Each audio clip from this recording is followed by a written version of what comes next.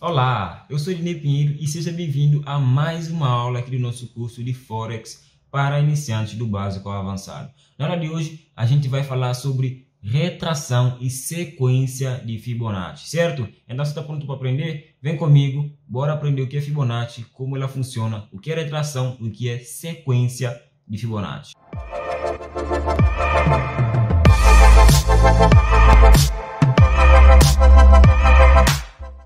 Que é a Fibonacci? A Fibonacci nada mais é do que uma sequência de números que nós traders utilizamos para conseguir entender aonde será a próxima correção após uma grande onda. Como é que isso acontece de fato no gráfico? Vocês vão aprender isso nas próximas aulas, certo? Aqui é tudo mais sobre um conteúdo muito mais teórico do que o prático em si, mas nas próximas aulas vocês com certeza vão ouvir e fartar-se de ouvir falar sobre Fibonacci, sobre as regiões importantes de Fibonacci. A retração de Fibonacci nada mais é do que um método de determinação de possíveis pontos de resistências e de suporte de um determinado ativo após uma grande movimentação, após uma grande onda. Por exemplo, o preço ele acabou de ter uma grande onda de queda. Ele vai começar a retrair, a retrair, a retrair e traçando a nossa Fibonacci, a gente tem uma, algumas regiões que são muito importantes, algumas regiões que são de fato as que mais funcionam e naquelas regiões a gente vai fazer a nossa operação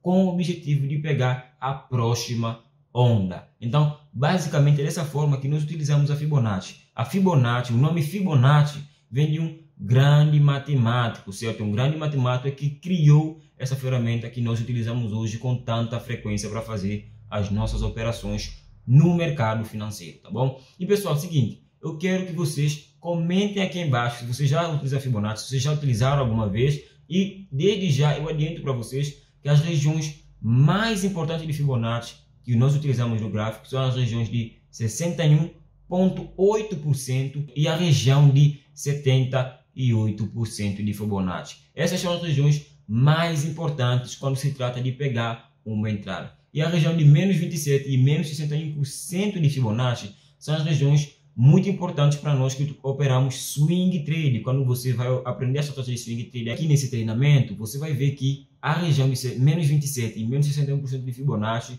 são as regiões onde nós geralmente posicionamos o nosso take profit, né? onde a gente fecha a operação no lucro. E é claro, pessoal, espero que vocês estejam gostando muito desse treinamento que eu e a minha equipa preparamos com todo amor e carinho aqui para você, certo? E é o seguinte, eu vejo você na próxima aula. Espero que esteja tudo bem com você. Que Deus te abençoe.